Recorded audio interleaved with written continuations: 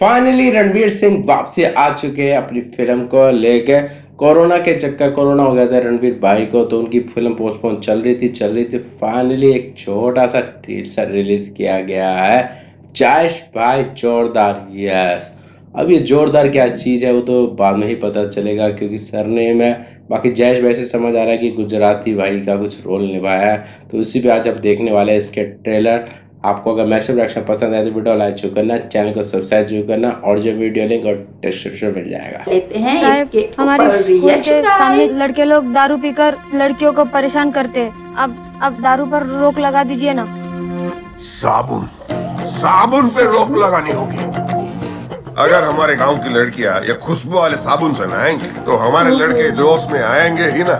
हैं? क्या इसी बात पर सिर हिलाना कंपलसरी है।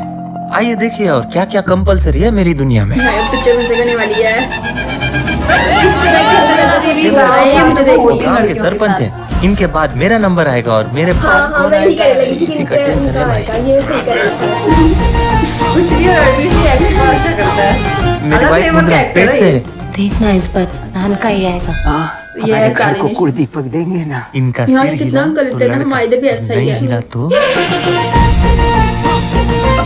बापू आपको क्या चाहिए? नानकी की नान का मंदिर में जाते हैं वहाँ हमको पूछते हैं क्या? प्रसाद में क्या लोगे? लाडू या सीरो? जो भी मिलता है ऐसे करके ले लेते हैं ना। लेकिन ये फटाकड़ी मेरी बेटी है।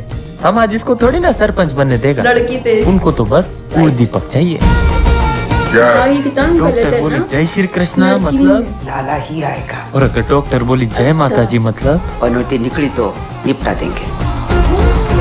हाँ, यही जो पहले होता था। माता जी आगे क्या?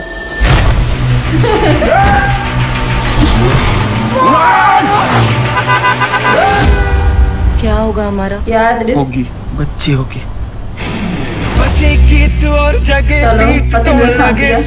जबरा रिक्स ले लिया है। अब सब माड़ी के भरोसे। नहीं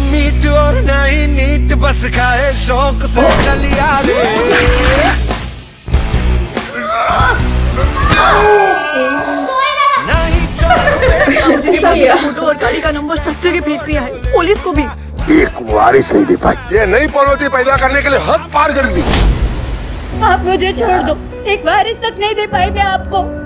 लड़का या लड़की देना पुरुष के हाथ में होता है। आज तक मैं तुझे लड़का दे पाया। नहीं ना? तो उस हिसाब से मैं मर्द ही। नहीं हूँ तो एकदम जोरदार।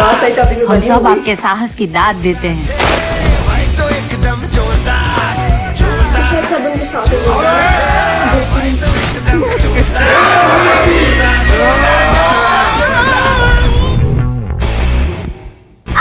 हीरो और अब आपको एक्शन हीरो बनना पड़ेगा। जयेश भाई जोरदार।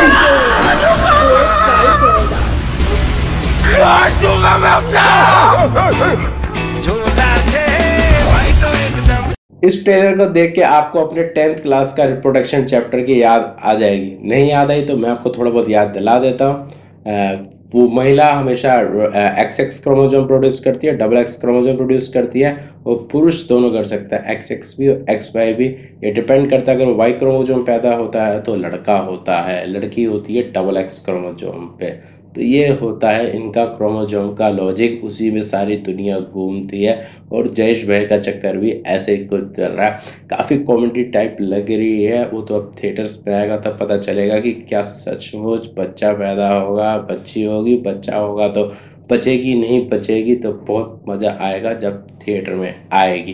तो ये थी आज की मैसेज रिएक्शन आपको मैसेज रिएक्शन देने मज़ा आती वीडियो लाइक जो करना, चैनल को सब्सक्राइब जो करना। तो मिलते दूसरी वीडियो में। Bye bye take care thanks